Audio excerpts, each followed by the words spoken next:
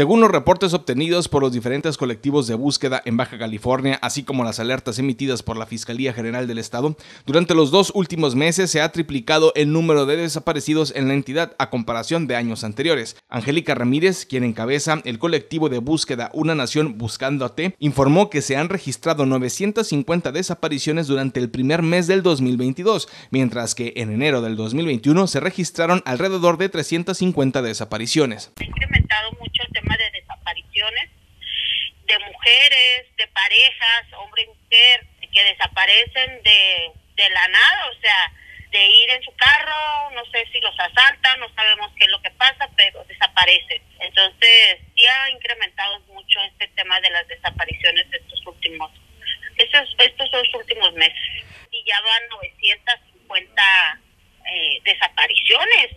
De esas 950, vamos a ser claros, muchas de ellas sí han resuelto rápidamente, pero te diré un 50% eh, aún siguen sin, sin aparecer. Angélica Ramírez resaltó que según las estadísticas son las mujeres y los menores de edad quienes han incrementado las listas de desapariciones en el estado. En el caso de los menores, dijo, un 90% han sido localizados, pero un 10% aún siguen desaparecidos.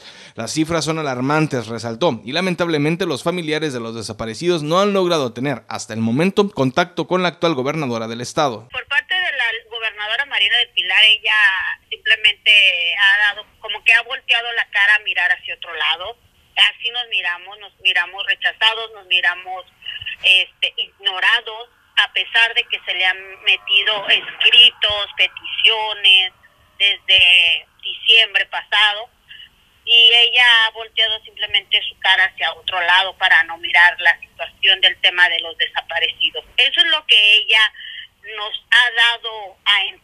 Por parte de los colectivos de búsqueda, tienen grandes expectativas respecto al nombramiento de Ricardo Iván Carpio Sánchez como fiscal general en el estado, pues desde que estaba al frente de la Fiscalía Especializada se entabló comunicación con él y se habló de proyectos que vendrán a dar avance en estos temas, comentó Angélica Ramírez. Él, su primer día como fiscal, dijo que iba a tener una fiscalía especializada en el tema de desaparecidos. Esa es una promesa que él mismo nos lo hizo a nosotras.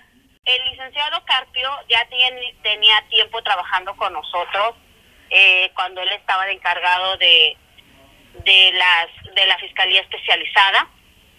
Eh, trae muy buen plan con el tema de eh, los, los desaparecidos, trae muy buenas expectativas hay un muy buen proyecto, pero hasta ahorita no sabemos cuándo nos lo va a aplicar. Por eso es la urgencia de que queremos hablar con él para saber tiempo. Para California Medios, con información de Kenny Rodríguez, Roberto Estrada.